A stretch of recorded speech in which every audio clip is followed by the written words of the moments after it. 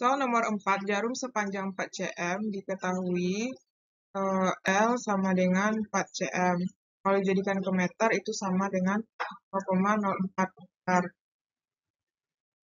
Dimasukkan ke dalam wadah berisi alkohol. Tegangan permukaan alkohol adalah gamma sama dengan 0,023 Newton per meter.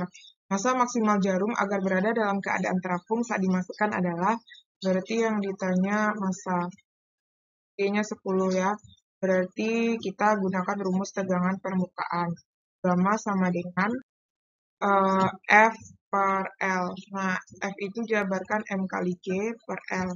Jadi yang ditanyakan tegangan permukaan 0,023. M yang ditanya G10, L-nya 0,04. Nah, ini tinggal kita kalikan M sama dengan 0,023 kali 0,4 bagi dengan 10. Nah, ini hasil baginya yaitu 0,000092 ya, satunya kilo.